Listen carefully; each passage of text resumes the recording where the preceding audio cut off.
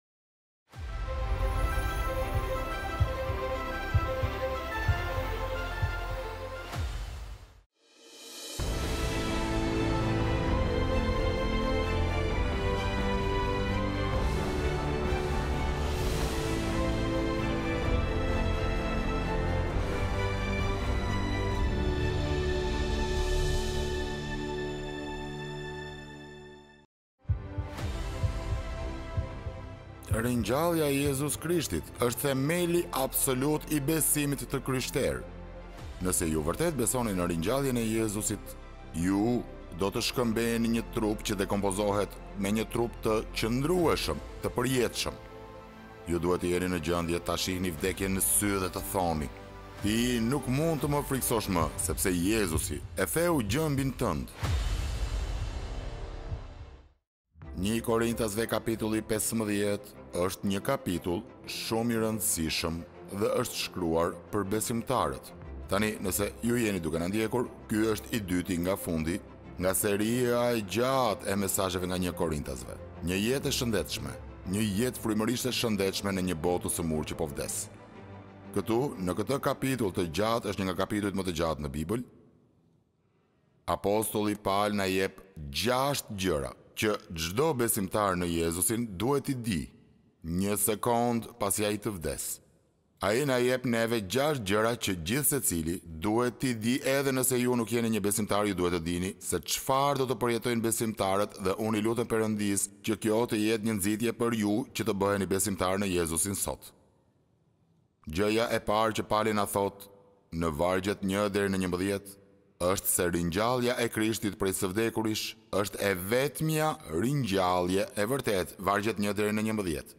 Së dyti, Ai na thotë neve se vetëm besimtarët në Jezus Krishtin do të ringjallen ashtu si Jezusi.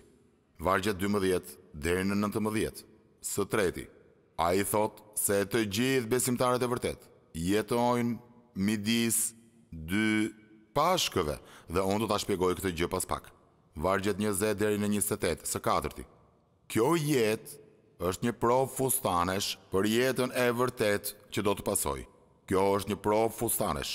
Kjo është ajo që ju praktikoni në këtë jetë është ajo që ju përjetoni në jetën reale. Pesë. Vargjet tridhjetë e pesë deri në dyzet e nëntë do të ketë një shkëmbim të trupit. Gjashtë. Vargjet pesëdhjetë deri në pesëdhjetë e tetë ju mund të jetoni jetën e ringjallur këtu dhe tani në këtë jetë. Ringjallja e Krishtit. Është ringjallja e parë e vërtetë. Çfarë do thotë kjo? Ringjallja e Jezus Krishtit pas tre ditësh në varr është themeli absolut i besimit të krishterë. Më kuptoni drejt ju lutem. Askush, askush, askush nuk mund të shpallë se është shpëtuar përmes gjakut të Jezus Krishtit dhe të mohojë ringjalljen fizike trupore të Jezusit. Dhe miqtë e mi, kjo është arsyeja pse apostulli Pal është duke u siguruar në mënyrë absolute, Që ne të kuptojmë, provat e ringjalljes së Krishtit dhe këto prova janë të pakundërshtueshme dhe kishte pesëqind dëshmitarë okularë se edhe jeta e dishepujve të tij dhe e të tjerëve u transformua rrënjësisht plotësisht se këta dishepuj dhe këta ndjekës të tjerë dhe këta dëshmitarë okularë ishin shumë të lumtur dhe të kënaqur të vdisnin për Jezusin Pas kësaj, kjo ndodh për faktin se ata e panë atë të ngritur prej së vdekurish. Tani, kjo është ajo gjë ku unë dua të fokusoheni me mua, sepse korintasit në të vërtetë nuk po e vinin në dyshim ringjalljen e Jezusit, unë do t'jua shpjegoj juve se përse i tha këto gjëra në kapitullin pesëmbëdhjetë. Ata nuk po vinin në dyshim ringjalljen e Jezusit, ata po vinin në dyshim ringjalljen e atyre vetë. Dhe unë do t'ju tregoj se përse kultura e tyre kishte ndikuar mbi të menduarit e tyre. Dhe kjo është arsyeja pse apostulli Pal e lidh ringjalljen e Jezusit me vetë ringjalljen tonë. Ata thanë, oh, ai është biri hyjnor i Perëndisë, ai u ngrit prej së vdekurish, por nuk jemi të sigurt për ringjalljen tonë. Dhe Pali tha se të dyja këto shkojnë bashkë, pse? Sepse nëse ata do ta kuptonin mirë ringjalljen e Jezusit, do të arrinin ta kuptonin drejt dhe ringjalljen e tyre. Nëse ata do të kuptonin se ringjallja e tyre lidhet në mënyrë të pashmangshme me ringjalljen e Jezusit, nëse ata do të kuptonin se ringjallja e Jezusit dhe ringjallja jonë janë të lidhura ngushtë dhe në mënyrë të pakthyeshme, Nëse ata do të kuptonin se Jezusi është i pari që u ngrit prej së vdekurish dhe kurrë, kurrë, kurrë nuk do të vdiste përsëri, atëherë ata do të kuptonin dhe ringjalljen e tyre. Nuk ka asnjë dyshim për këtë. Edhe kur Jezusi ngriti Lazarin prej së vdekurish, disa vite më vonë Lazari vdiq. Kur Jezusi ngriti djalin e vejushës së Nainit prej së vdekurish, ai djali i vogël u rrit dhe vdiq. Por vetëm Jezusi pati një ringjallje të vërtetë sepse ai u ngrit për të mos vdekur kurrë. Së dyti, vetëm besimtarët në Jezusin do të ringjallen si Jezusi, vargje dymbëdhjetë deri në nëntëmbëdhjetë. Perëndia po na thotë neve se duke qenë se Jezusi u ngrit prej së vdekurish, kushdo që e ka vënë besimin dhe shpresën e tij apo të saj vetëm tek Jezusi do të ngrihet prej së vdekurish gjithashtu, ashtu si Jezusi. Ringjallja e Jezusit dhe ringjallja e besimtarëve duhet të shkojnë, duhet të qëndrojnë së bashku ose të bien së bashku. Ju nuk mund të keni njërën pa patur tjetrën. Diçka tjetër që ju duhet të dini dhe me të cilën apostulli Pal është duke u marrë këtu tek një Korintasve pesëmbëdhjetë është se ai po merret me ndikimin e kulturës mbi kishën dhe miqtë e mi ne e shohim këtë sot. Kultura po ndikon mbi kishën në vend që kisha të ndikojë mbi kulturën. Në kulturën greke të shekullit të parë, grekët refuzonin të besonin në ringjalljen e trupit. Pse? Sepse ata e shihnin trupin si diçka të keqe. Vetëm shpirti është i mirë dhe prandaj ata nuk dëshironin që ai shpirt apo frymë të ishte i mbyllur në një trup tjetër dhe kështu ata ndikonin në të menduarit e kishës. Kultura e asaj kohe besonte se trupi është një qeli burgu dhe se shpirti është i burgosur në atë trup dhe shpirti dëshiron shumë që të jetë i çliruar nga ai trup i keq dhe nga ajo qeli burgu. Dhe kështu Pali po na mëson se besimtarët do të kenë një trup të ri, një trup të ringjallur. Dhe kjo ishte e paimagjinueshme për kulturën greke, e cila ndikonte mbi kishën korintase. Besimtarët korintas ishin të gatshëm të besonin se Jezusi u ngrit prej së vdekurish, thoshin ata, sepse ai është biri hyjnor i Perëndisë, por jo si besimtarët e krishterë. Dhe Pali shumë qartë në këtë seksion këtu, ai po na thotë se nëse ne nuk ngrihemi prej së vdekurish, Jezusi nuk është ngritur prej së vdekurish. Dhe nëse Jezusi nuk u ngrit prej së vdekurish, ungjilli ju predikohet juve më kot, dhe besimi juaj në Krishtin është i pavlerë, dhe të gjithë ata qindra njerëz që ishin dëshmitarë okularë të ringjalljes janë të gjithë gënjeshtarë. Jo vetëm kaq, por do të thotë edhe se mëkati nuk është mposhtur, se vdekja nuk është mposhtur, se një fitore, një fitore mbi mëkatin është e pamundur, se të gjithë besimtarët kanë besuar më kot.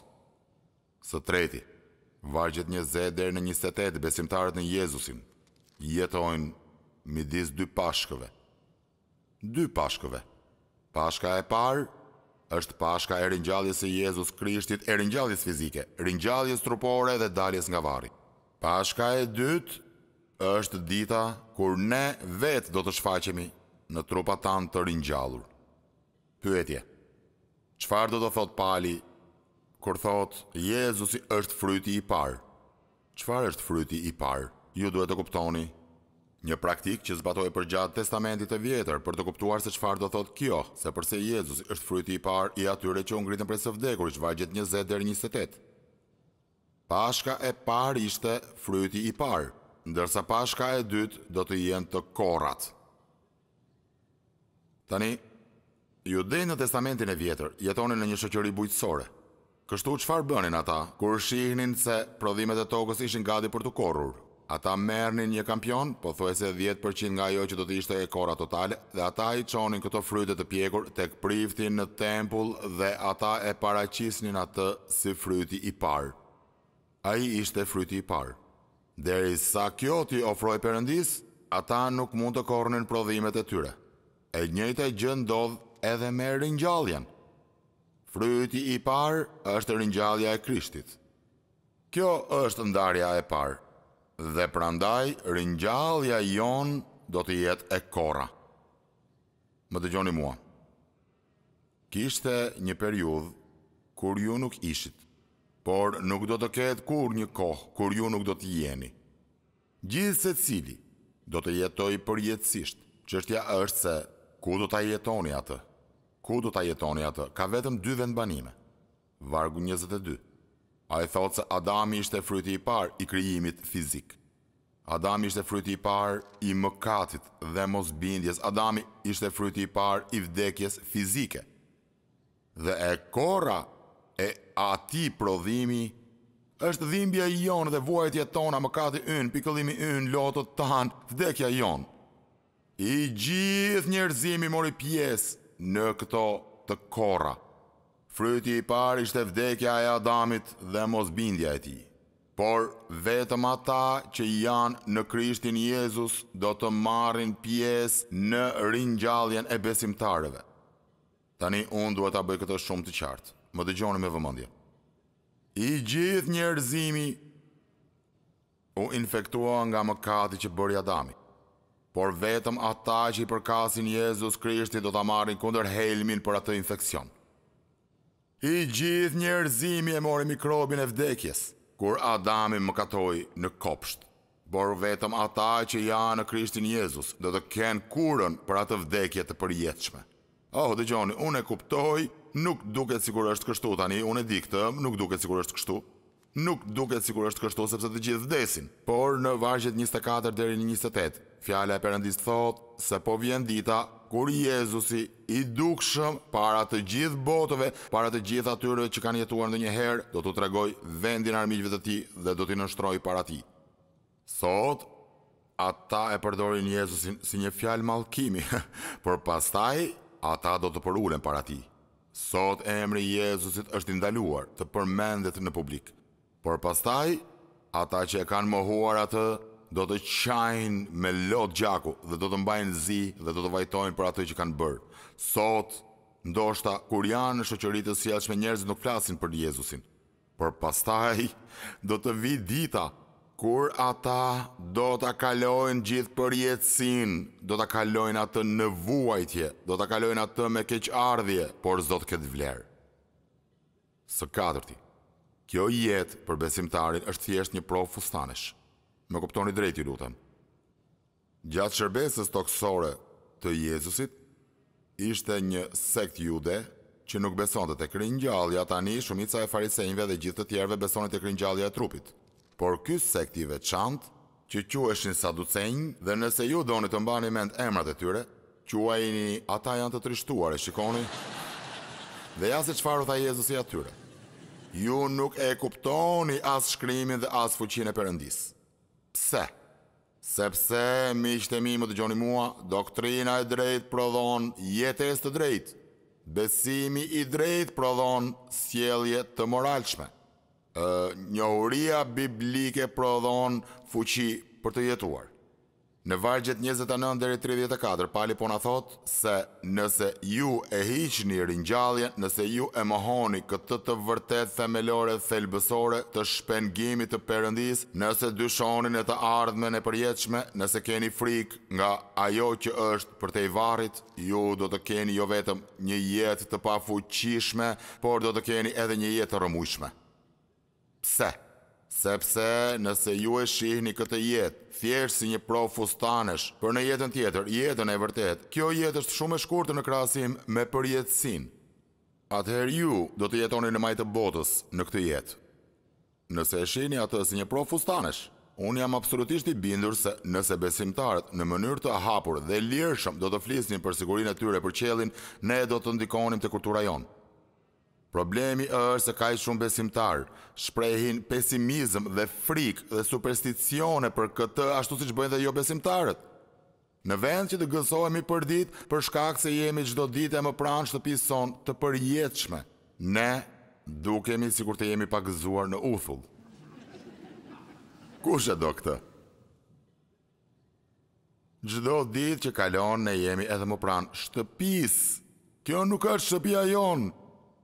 Nëse e bëjmë këtë, atëherë nuk do të trembemi dhe shqetësohemi e nuk do të jetojmë në ankth.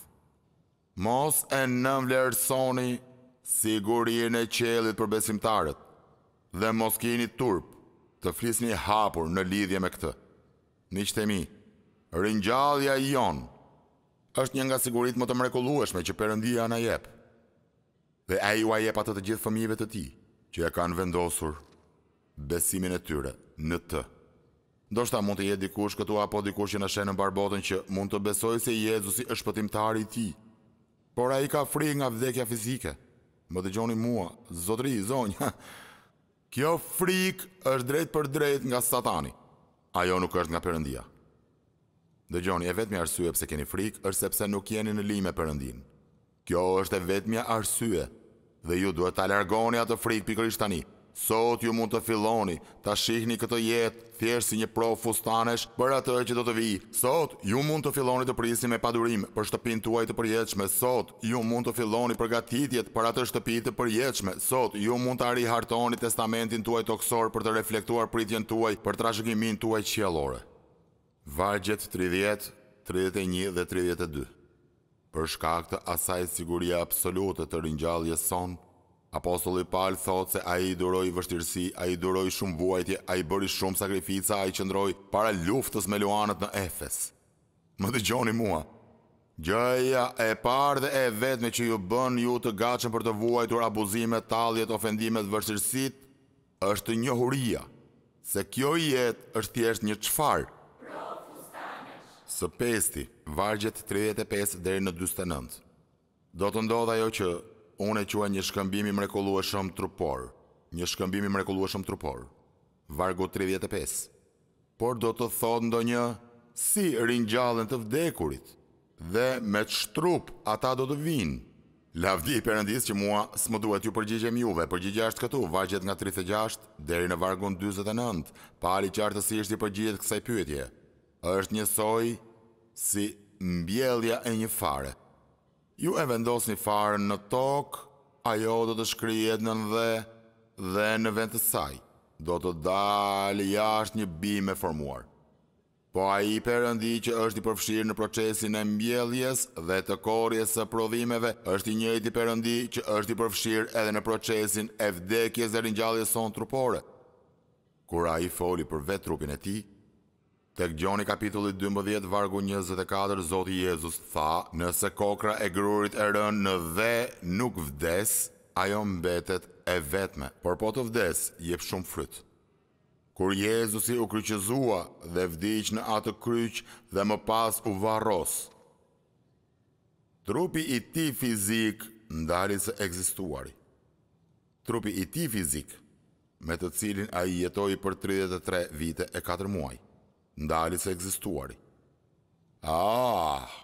Por një trup i ri, në mënyrë të mbinatyrshme u sigurua për të nga Ati, një trup i ringjallur erdhi të zinte vendin e tij. Trupi i lavdëruar i Jezusit ishte plotësisht i ndryshëm nga trupi i tij tokësor aq i ndryshëm saqë nëse ju kujtohet që dishepujt nga Emausi nuk e njohën atë në fillim, por e njohën më vonë, trupi i tij i lavdëruar nuk ishte më i limituar nga koha dhe hapësira dhe lënda e natyrshme, trupi i tij i ringjallur ishte plotësisht i ndryshuar dhe kështu do të jetë dhe trupi i ringjallur i të gjithë besimtarëve.